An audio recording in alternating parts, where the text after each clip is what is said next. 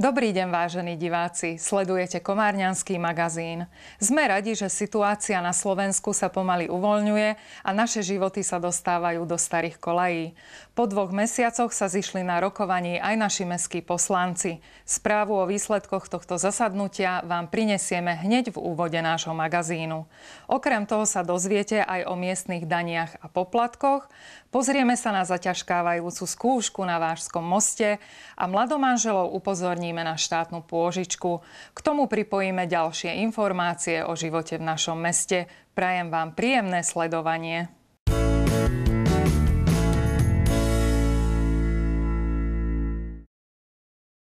Po dvoch mesiacoch nútenej prestávky zasadli poslanci Mestského zastupiteľstva. Medzi bodmi programu figurovali najmä schválenie opatrení, ktorými sa mesto snaží zmierniť stratu príjmov spôsobenú epidémiou koronavírusu. Poslanci, ktorí využívajú zákonnú možnosť, odložili splácanie pôžičiek a leasingov. Neuskutočnia sa mnohé z plánovaných investícií a kultúrne a športové organizácie tiež dostanú menšiu podporu.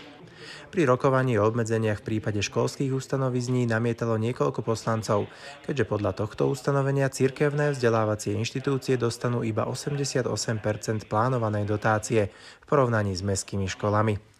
V diskusii odzneli argumenty, že toto opatrenie nie je namierené proti cirkevným inštitúciám, keďže cirkevná škola si môže kompenzovať ušlý príjem žiadaním štátnej pomoci. Popri úsporných opatreniach je dobrou správou, že poslanci zastupiteľstva zvýšili sumu Mestského fondu určeného pre jednorázovú pomoc na 50 tisíc eur. Vďaka tomu bude môcť viac rodín v Komárne, ktoré sa kvôli epidémii ocitli v ťažkej finančnej situácii, získať finančnú podporu. Tento rok sa neuskutočnilo spoločné slávnostné zasadnutie zastupiteľstiev Komárna a Komáromu, avšak zrodilo sa rozhodnutie o udelení mestských ocenení. Tohoročná cena Pro Urbe bola udelená podnikateľovi Zoltánovi Kolárovi a pedagogičke Ilone Kušťán. Titul čestného občana mesta bol odovzdaný bývalému biskupovi reformovanej cirkvi doktorovi Gejzovi RDImu. Jedným z bodov programov bol aj návrh na odkúpenie skládky komunálneho odpadu v obci Iža. O tom sa ale bude rokovať až neskôr.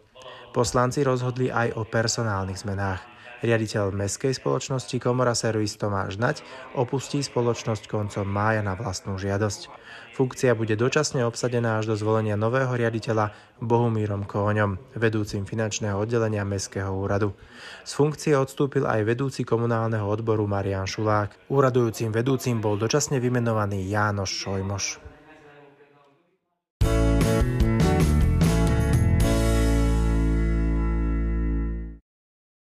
Minulý rok bola robená diagnostika tohoto mosta a na základe tých výsledkov vyšlo, že je potrebné znížiť zaťažiteľnosť na 15 tón. Aby sme mohli udržať minimálne aj tú pôvodnú zaťažiteľnosť, tak sme pristúpili k podopretiu konštrukciu. Už rok je z dôvodu havarijného stavu Vážského mosta vyznačená obchádzková trasa pre autá ťažšie ako 15 tón. V nedeľu ju využili aj ostatné vozidlá, keďže most bol uzavretý. Konali sa tu zaťažkávacie skúšky. Z toho dôvodu, aby sme zistili, ako sa v podstate konštrukcia správa, nakoľko je to zložitá konštrukcia hlavne sú zložité základové pomery, tak sme potrebovali zistiť, ako vlastne tá konštrukcia pracuje. Dosadili sa geodetické značky, ktoré sa očítajú v podstate nivelačnými prístrojmi zo spodu sme osadili strunové tenzometre a snímače posunu, aby sme boli schopní odmerať pomerné deformácie. Priehyby sme uvažovali, že by mali byť 25 mm, maximálny priehyb. Za predpokladu, ako sme modelovali ten most predtým. Keby bol ten priehyb veľmi väčší, tak v podstate môže to prísť k tomu, že sa konštrukcia poškodí. Je to podklad pre projektanta, ktorý bude potom projektovať vlastne zosilenie, lebo sa zmenili normy. Podľa nových noriem je zaťaženie na mosty požadované väčšie, tak sa to bude celé musieť zosiliť. Čiže by tam malo byť normové zaťaženie 32 tón, jediné vozidlo 90 tón a výnimočné zaťaženie 300 tón. Výsledky zaťažkávacích skúšok, pri ktorých na most postupne zaparkovalo 150 tón v podobe 6 25-tonových nákladiakov naložených štrkom, využijú projektanti budúcej rekonštrukcie mosta. a potrebné sú aj na aktivovanie podoprenia v podobe špeciálneho pilóna, ktorý verme, že len dočasne vzal pôvab najštíhlejšieho mosta na Slovensku. Takýchto odvážnych na Slovensku v podstate není ani jeden. Vo svete boli vola, kedy takéto stavané ale toto, keď profesor Beky nenavrhoval, tak v podstate toto je akože unikátna konštrukcia, odvážna. Teraz po uskutočnení tej zaťažovacej skúšky potom schotoviteľ nám aktivuje túto podpernú konštrukciu, pretože teraz nie je aktivovaná. A potom e, už budeme vedieť tú zaťažiteľnosť mosta a dúfam, že už to bude bez e, obmedzení. Momentálne prebiehajú prípravné práce, teda vyhotovenie projektovej dokumentácie a následne by mala byť e, realizácia vlastne tej rekonštrukcie mosta. Dovtedy táto podperná konštrukcia aj počas rekonštrukcie by mala ostať. S kým vyhodnotia tieto výsledky, plánujeme aj obnoviť kryt mosta, lebo teraz sú tam výtlky a je, bol urobený len náter, takže sa vyhotoví ešte kryt vozovky z asfaltobetónu. Čo sa týka samotnej rekonštrukcie mosta, momentálne je vyhlásené verejné obstarávanie na zhotoviteľa projektovej dokumentácie. Potom bude potrebné získať stavebné povolenie, aby mohlo byť vyhlásené ďalšie verejné obstarávanie na dodávateľa prác. Až potom začne samotná rekonštrukcia.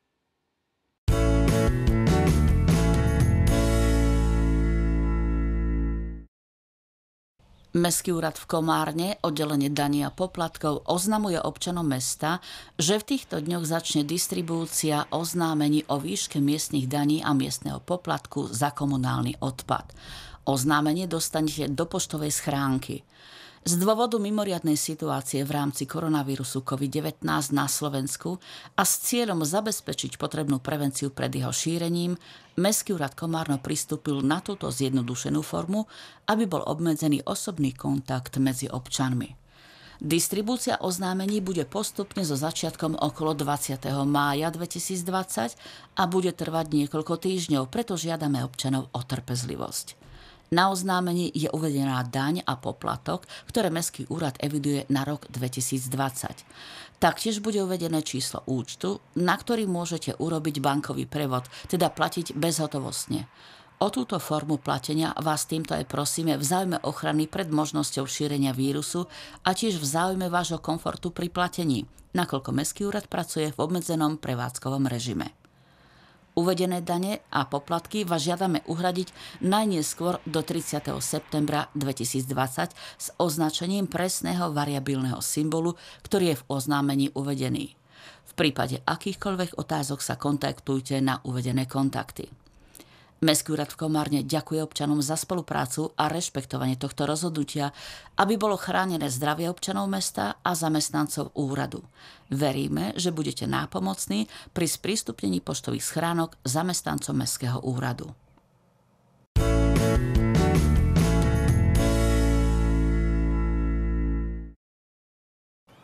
Výstavba nového komarňanského mosta sa blíži ku koncu. Izolácia bola dokončená, na vozovke je nový asfalt. Pokračuje inštalácia stĺpov verejného osvetlenia, zábradlí a už aj monitorovacieho zariadenia a poplachového systému mostov. Montujú sa svetlá a navigačné značky pre plavebnú dopravu. Vykonali už aj zaťažkávaciu skúšku mostnej konštrukcie 32 nákladných automobilov, z ktorých každé vážilo 31,6 tón, sa vystriedalo v celkovo 16 kombináciách zaťaženia. Dňa 11. mája navštívili most v Komárome aj maďarský minister zahraničných vecí a obchodu Peter Sijarto. Stretol sa tam so slovenským ministrom hospodárstva Richardom Sulíkom.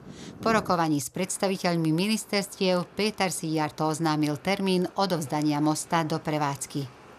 Augusztusban át fogjuk adni az új Komáromi hidat. V auguste odovzdáme nový komárňanský most. Je 600 metrov dlhý a je postavený zo 7000 tón oceľovej konštrukcie. Ako oznámil primátor Komáromu Attila Molnár, rozhodnuté je už aj o pomenovaní mosta jedinečnej konštrukcie. Ako uviedol, medzi ministerstvami došlo k dohode, pričom obe krajiny prijali oficiálny názov nového cestného mosta. A magyar fél több javaslatot is tett a szlovák Maďarská strana predložila slovenskej strane niekoľko návrhov. Väčšina návrhov, ktoré sme dostali od obyvateľov Komáromu a nová verzia mena akceptovaná slovenskou stranou, tak bude monoštorský Dunajský most. Primátor Komáromu uviedol, že o mesto sa už zaujíma viacero významných investorov. Je to vďaka dokončeniu spojenia oboch miest a štátov mostom vhodným na nákladnú dopravu. Situácia v našom meste už nie je taká rúžová, keďže neexistuje obchvat, môžu v meste po odovzdaní mosta do prevádzky narásť dopravné problémy.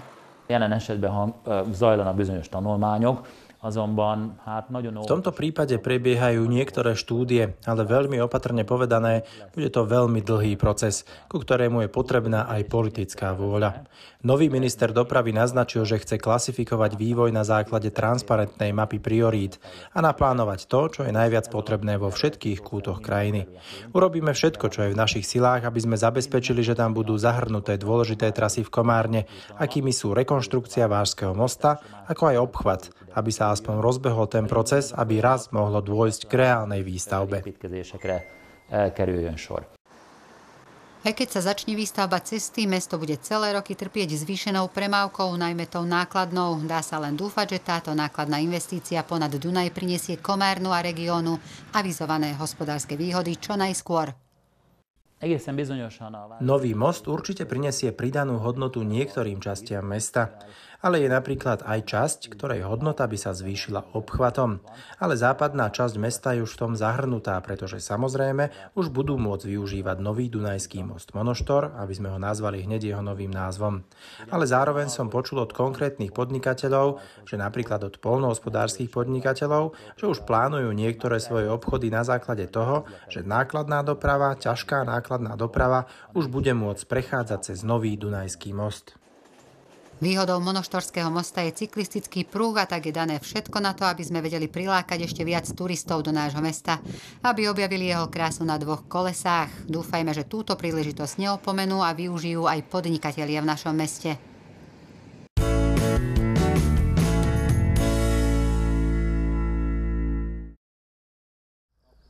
Na základnej škole Mora Jokajeho zriadili externú učebňu. Pred nepriazňou počasia ju chráni strecha a bočné žalúzie a je vybavená klasickou tabuľou a premietacím plátnom. Nápad pochádza od rodičov, ktorí sa podujali aj na realizáciu projektu. Jelenleg ez egy majd 100 négyzetméteres tanterem, amelyben két osztályi gyerek is egyszerre el tud férni. Je to učebňa s rozlohou takmer 100 metrov štvorcových, do ktorej sa zmestia žiaci dvoch tried. Vytvorili sme priestor pre výučbu projektov a hravé vyučovanie. My rodičia sme v škole iniciovali koncepciu, ktorá urobí výučbu praktickejšou, je užitočná pre deti i pre samotnú školu a jej pedagógov. Cieľom bolo približiť deťom bežné činnosti a každodenný život, pohnúť sa od často menej záživného učiva smerom k praktickosti. A száraz ö, tananyagon alapuló oktatást. Pedagógovia školy iniciatívu rodičov uvítali. ki lehet használni olyan dolgokat. Možno ju využiť na témy spojené s prírodovedou alebo biológiou. Deti môžu skúmať stromy na dvore školy, môžu pozorovať život, spôsob života zvierat. A je to vynikajúce prostredie, príjemné a na čerstvom vzduchu. Na zadnom dvore školy zrekonštruovali aj hľadisko ihriska. Šikovné ruky ho opravili, rozšírili a osadili nové sedadlá. A práce pokračujú, rodia sa drevené sochy a plánujú vybudovať náučný chodník. Tavaly évben 56 darab V Lani sme si osvojili 56 stromčekov a kríkov, ktoré sme vysadili a vo forme náučného chodníka, aby sme ich chceli spojiť s externou učebňou. Podstatou tohto chodníka by bolo, aby vysadené stromy boli typické pre tento región a ktoré figurujú v učebniciach, aby si ich deti mohli pozrieť zblízka. Rekonštruujeme jednak okolie školy, na druhej strane ho rekonštruujeme tak, aby nám pomáhalo vo výučbe a v rozvoji detí. A z každého pňa stromu vyčaruje sochy spojené so školou a s výučbou majster drevorezbár. Prišiel nápad, aby to bolo niečo so školskou tematikou, ako tu aj vidíme sovu s knihami. Potom som vymyslel, že je to základná škola Móra Jokajho, tak nech je tu aj busta spisovateľa. Mám aj ďalšie nápady na zvyšné tripne, ale nechcem ich ešte prezradiť, bude to prekvapenie pre deti. Ez egy ilyen meglepetés lesz a gyerekeknek. Náklady prác radilo Združenie rodičov z viacerých zdrojov. Z príspevkov rodičov, z projektov, z financií Združenia rodičov, ako aj z dotácií primátora a poslancov Mestského zastupiteľstva. Szeretném külön kiemelni a azokat a képviselőket, akik nekünk ebben segítettek. Chcela by som osobitne vyzdvihnúť poslancov, ktorí nám v tomto pomohli. Konkrétne sú to páni poslanci Imre Andruško a Ďorď Bata, ktorí nám v tomto roku venovali celú sumu svojej 10 tisícovej podpory. Okrem toho pani poslankyňa Magdalena Tárnoková, páni poslanci Pieter Korpáš a Károj Leš, ktorí už v minulom roku podporovali tento náš projekt. Képviselő úrnak, akik tavalyi évben is már támogatták ezt a projektet. Základnú školu Mora Joka jeho navštevuje v súčasnosti 420 žiakov. Na budúci školský rok sem zapísali 58 prváčikov.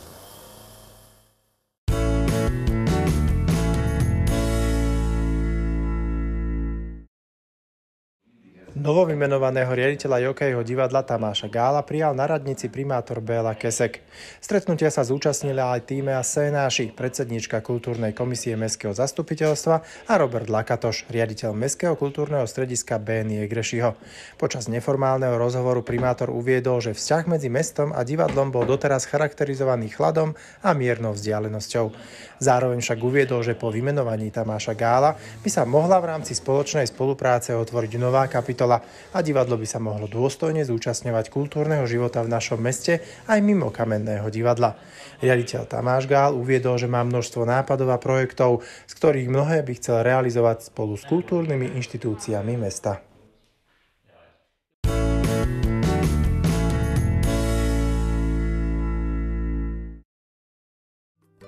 Zväz maďarských pedagógov na Slovensku oslavuje 30-ročné jubileum. Kvôli pandémii sa tentoraz klasická slávnosť nekoná. Predsednička zväzu si na uplynulé 30 ročia zaspomínala a kolegov pozdravila v príhovore online. Reméljük az évforduló kapcsán hamarosan megjelenő emlékkönyv Dúfame, že pamätná kniha, ktorá pri príležitosti jubilea skoro vyjde a fotografie, spomienky v nej zachytené, vyjadria našu vďaku tým, ktorí už dlhých 30 rokov pracujú ako členovia a funkcionári nášho zväzu v záujme maďarských škôl na Slovensku.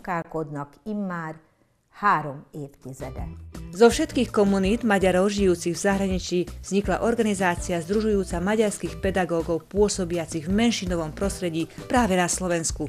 Zohrala tak pionierskú úlohu v oblasti zastupovania záujmov menšinového vzdelávania. Počas svojej 30-ročnej existencie pomáhala svojou odbornosťou v práci maďarských pedagógov na Slovensku. Tisztelet elődeink úttörő munkájának, akik felfedezték Vzdávame úctu priekopníckej práci našich predchodcov, ktorí ako prví v Karpatskej kotline spoznali potrebu a možnosť založenia občianskej organizácie združujúcej maďarských pedagógov na Slovensku, ktorá pracuje v záujme nás, maďarských pedagógov a maďarského školstva na Slovensku. Bola to historická udalosť, za ktorú sme dodnes vďační. Zodpovedný a smelý prístup našich zakladateľov v záujme ochrany a pozdvihnutia maďarského školstva na Slovensku si zaslúžia úctu. A my sa postaráme o to, aby sa na to v budúcnosti nezabudlo a aby žiara ich činov nestratila na sile. Tiszteletre méltó, és mi gondoskodunk arról, hogy a jövőben ez nem erüljön a feledés homályába, sőt, meg se fakulja a ragyogása. Na organizáciu združujúcu takmer 3000 maďarských pedagógov na Slovensku čakajú ďalšie významné úlohy, veď zastupovanie záujmov maďarského školstva a maďarských pedagógov na Slovensku stavia jubilujúcu organizáciu sústavne pred nové výzvy.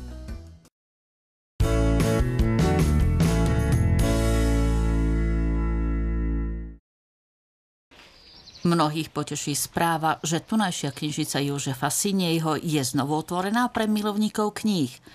Prvý deň prišlo okolo 100 občanov a domov si odnášali veľa kníh na krátenie voľného času. Veľmi nás potešilo, že druhú a tretiu fázu uvoľňovania týchto opatrení štátnych spojili a tým pádom knižnice mohli otvoriť 6. mája. Potešilo nás to a trošku zaskočilo, lebo sme neboli na to technicky a chemicky vybavení. Takže sme museli zabezpečiť priestory, lebo fungujeme v upravenom režime.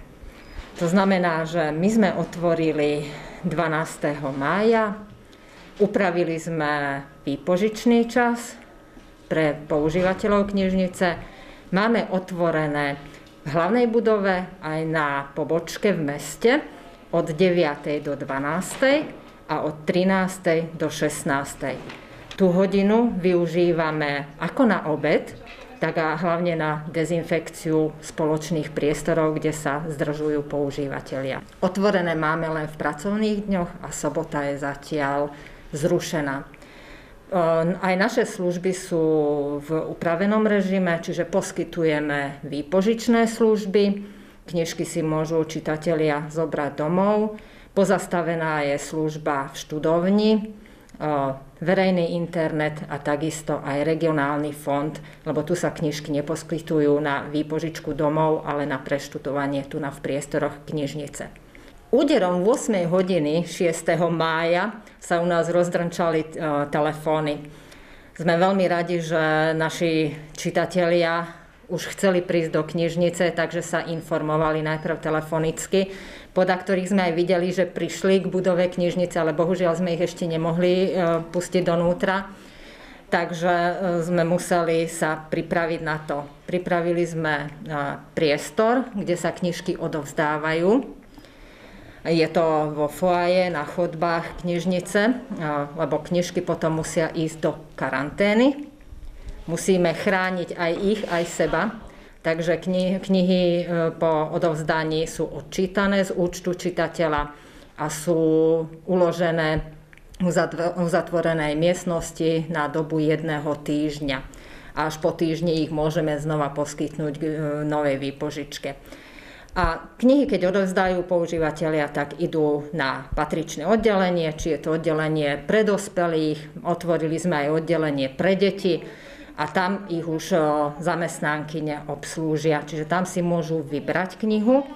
Je obmedzený čas na pobyt v knižnici, lebo máme čitateľov, ktorí veľmi radi trávia dlhé minúty medzi regálmi vyberaním si knih, ale bohužiaľ zatiaľ sme pristúpili k takémuto opatreniu, že na 10 minút môžu vojsť do oddelenia, rýchlo si vybrať, urobí sa im výpožička a môžu potom už ísť domov, konečne s požičanými knižkami a začítať sa do riadkov. Knižica každý rok organizuje letné tábory pre deti, o ktoré je veľký záujem. Opýtali sme sa, ako to bude v tomto roku. No naplánované máme tri turnusy, čiže tri týždne sú určené na letné tábory.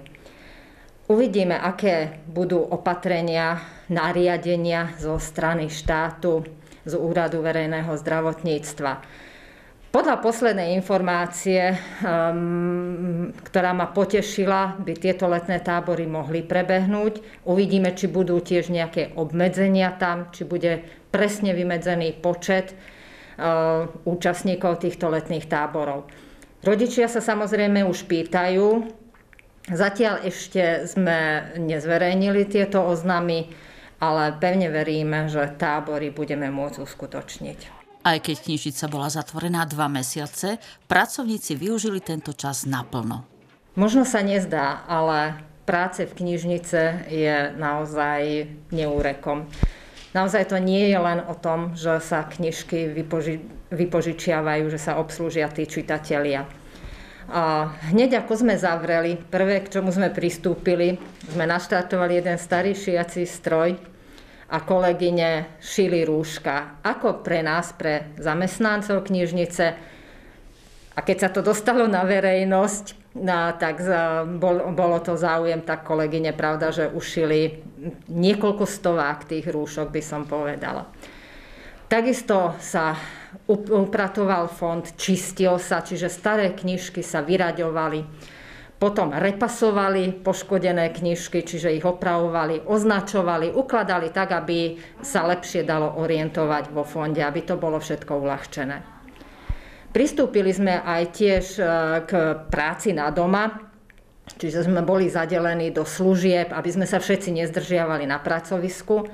A začali sme svoje aktivity, rôzne také kvízy, doplňovačky, hádanky, súťaže, ale aj informácie, e, zaujímavosti o osobnostiach zverejňovať na webovej stránke knižnice alebo na sociálnej sieti.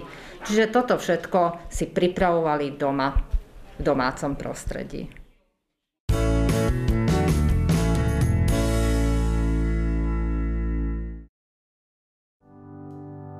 S kamerou sme sa boli pozrieť, ako pracujú niektoré kultúrne organizácie nášho mesta v obmedzenom režime, ktorý sa už pomaly uvoľňuje. Vďaka korone si našli novú cestu k obyvateľom a zaujali ich tak aj v online svete.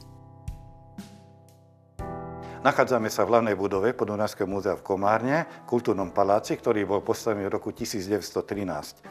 Naše múzeum, Podunajské múzeum, patrí k najstarším múzeám na Slovensku. Bolo založené v roku 1886. Od existencie nášho múzea e, sa nestalo, aby sme museli múzeum zatvoriť už takmer na dva mesiace ten prvý týždeň bol taký, by som povedal, taký neistý. No ale potom sme dostali usmernenie od nášho zriadovateľa, od Nitranského samozprávneho kraja. Naši kolegovia, kustódi pokračovali vo svojej práci doma. To znamená, že spracovávali zbierky, prírastky. V našich zbierkach evidujeme v súčasnosti viac ako 150 tisíc zbierkových predmetov. Samotná inventarizácia je veľmi náročná, trvá niekoľko mesiacov. Bohužiaľ, kvôli epidémii sme nemohli otvoriť našu tohtoročnú veľkú jubilejnú výstavu na počet 150. výročia narodenia slávneho hudobného skladateľa Franca Lehára, nášho rodáka zo slovenských múzeí, ale aj z iných múzeí sme dostávali signály, aby sme prešli na online prezentáciu, tak sme pripravili videofilm o našich expozíciách.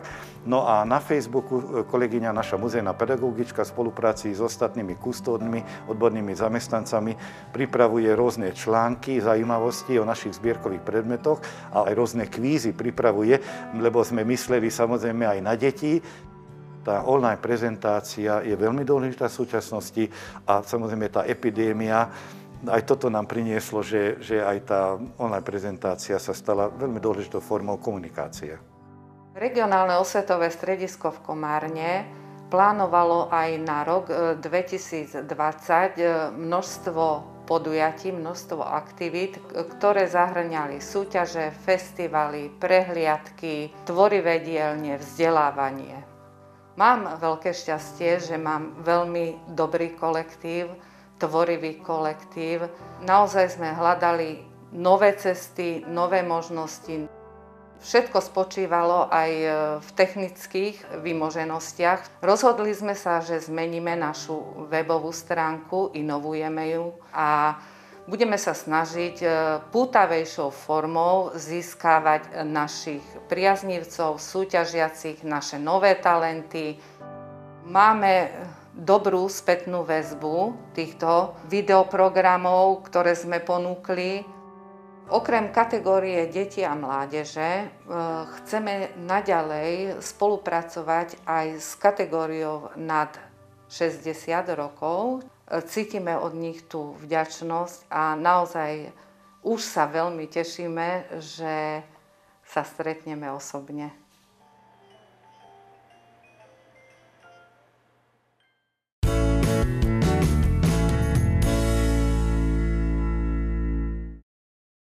Milí diváci, sledovali ste Komárňanský magazín. Lúčime sa s vami s presvedčením, že z týždňa na týždeň to bude u nás lepšie a lepšie a spomienka na pandémiu bude už minulosťou. Majte sa pekne, chránte si svoje zdravie a buďte optimistickí. Dovidenia.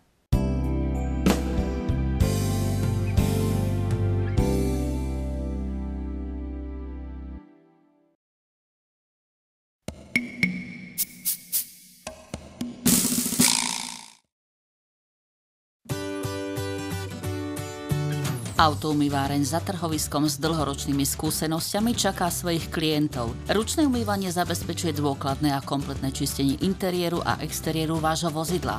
Máme výhodné ceny na všetky naše služby. Každý zákazník dostane od nás kávu zadarmo. Online na www.autoumývarenkn.sk Čakáme vás a tešíme sa na vašu návštevu.